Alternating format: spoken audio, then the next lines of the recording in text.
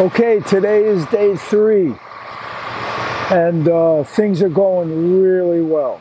So today they've got everything patched up.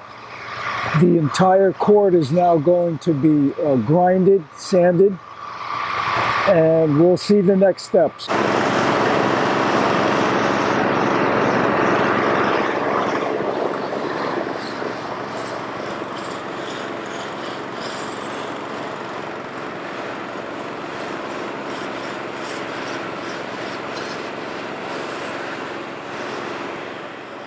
There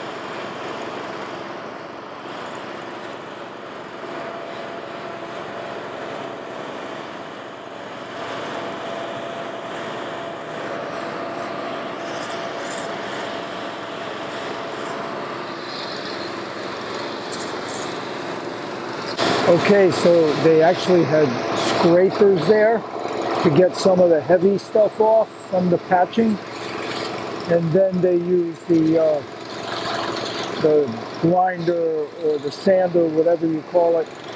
It looks like something they use in Publix to wax the floor. anyway, things are going great.